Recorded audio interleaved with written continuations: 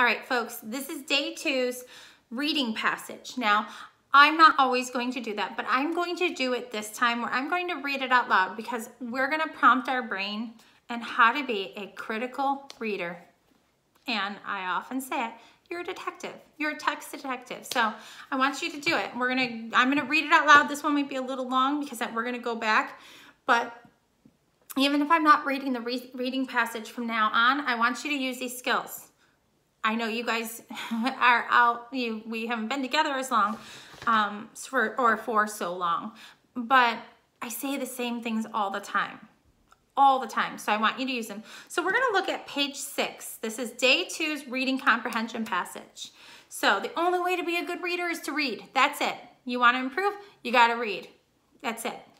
So find ways to get involved with the text. So we're gonna look at reading the passage, then answer the questions. First thing you always do is read the directions. So this is called giant sequoias. You're gonna follow along with me, okay?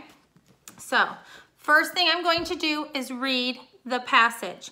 I know that I have questions I have to answer, but I'm not going to look at those questions until I've read it the first time. All right, ready? Giant sequoias. The first giant sequoia tree probably, follow along with me. Use your finger if you have to. Track it along. Um, because this is just me showing you how to do it right now. Um, some I will read, but for right now. Let's try it again. Track it. Follow along. The first giant sequoia trees probably started growing in North America about 180 million years ago. Giant sequoia trees can live more than 3,000 years. For the first 250 years, giant sequoias look like small pine trees. They reach their full height when they are about 500 years old. The giant sequoia tree can grow as tall as a 25-story building. That's about 250 feet, 76 meters, tall. Some trees have grown up to 30 feet, 9 meters, wide, as wide as a three-lane highway. The largest giant sequoia living today is named General Sherman. General Sherman is over 274 feet, 83 meters tall. There are not many sequoias alive today. Millions of years ago, sequoias grew across North America. Then the weather turned colder. These trees needed the warm weather to live. Now, when people visit the remaining sequoia forests, they drive and walk over the ground. This makes the ground hard. The sequoia's roots have a difficult time absorbing water in hard ground or in the hard ground.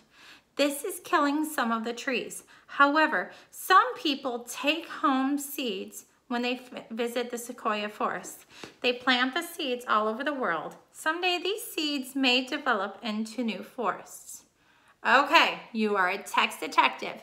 You are going to look for the clues. You have to prove it. Remember, I've said this a lot. You know, let's say I say, Brian stole the Chromebook. I can't just go to the police and say, Brian stole the Chromebook. I have to have some evidence to support that statement. You are gonna do the same thing. And we're gonna look at the questions. We're gonna read the questions. And then we're gonna go through and reread that text. And if you feel like you wanna have a highlighter with you, you can have a highlighter if we come along with it. But you are going to reread reread, reread, reread. I know it's annoying. But like I've said a lot of times, I'm 39 years old, done a lot of college. I have to reread it. So if you don't think you don't need to, you might need to. All right, so number 15, how long does it take a giant sequoia tree to reach its full height? Hmm, I'm gonna look for that. Number 16, and you don't have to re read all of the questions if you'd like. If you wanna go one, go back to the text, reread it. Go two, go back to the text. I'm gonna go over all the questions for the sake of this video. And then, um, but we know we're going back to that text. So, and we're not reading it just once. Number 16, how tall is the largest giant sequoia tree living today? Number 17, why are fewer giant sequoias alive today than in the past? Okay. Number 18, what are two things that giant sequoias need in order to survive? And number 19, what details does the author provide to support the topic sentence of the second paragraph? Now, you are gonna go back. You are going to reread this text. I'm not gonna reread it. I want you to reread that text. And as you come to an answer, you can highlight it or you can go back if you feel like you wanna. It sometimes is easier to reread all of the text again. Reread it all over again and then go back and start answering the questions. Don't reread it just in little pieces. Oh, I found that answer. Reread it and then come back. You can highlight. Um, in a lot of cases, you know, I like them in, you to answer in complete sentences. There's not space, um, but for 17, 18, 19, you should be able to write in complete sentences your response. And remember, we start that by restating. So if the question is what, number 17, why are fewer, fewer giant sequoias alive today than in the past?